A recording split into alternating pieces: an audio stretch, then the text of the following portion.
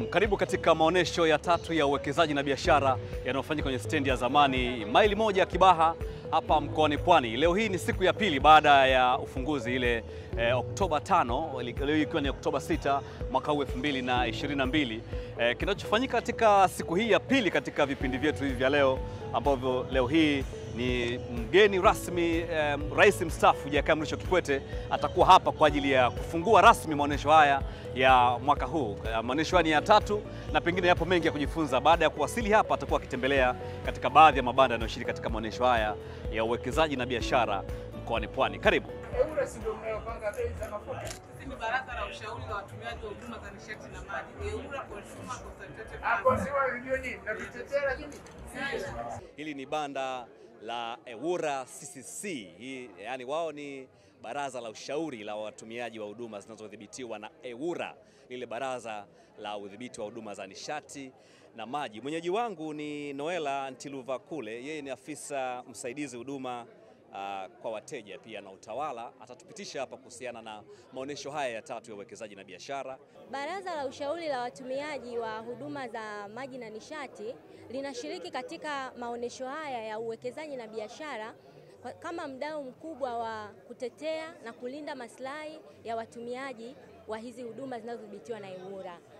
Kwa hiyo kazi, kazi mojawapo ya EWURA CCC katika ku, kushiriki katika ma, ma, maonesho haya ni kwamba uh, huwa tuna kazi ya kushauriana na wenye viwanda, serikali na taasisi mbalimbali kuhusu masuala ya watumiaji. Kwa hiyo wenye viwanda ni wadau wakubwa sana, kwa sababu ni watumiaji wa hizi huduma za maji, umeme katika viwanda vyao. Kwa hiyo tuko hapa wapate kupata elimu za, ya, ya msingi kuhusu, utumi, kuhusu huduma ubora wa huduma ambazo wanatakiwa wazipate, pia kuwakutanisha sasa na wadau wengine ambao wanahusika katika kutetea maslahi ya watumiaji. Ndio. Na kwa kifupi, mtu kumbushe majukumu ya hii EWURA CCC hasa. E, Majukumu ya EWURA kwanza ni kulinda na kutetea ah, maslahi ya watumiaji. Pia ni kutambaza taarifa za watumiaji kwa wadau wetu. Pia tunashauriana na wenye viwanda, serikali kwa kuhusu masuala ya watumiaji. Vilevile tuna tunaanzisha hizi kamati za kimkoa za watumiaji na kushauriana nazo kuhusu masuala ya watumiaji. Hizo ndio kazi zetu.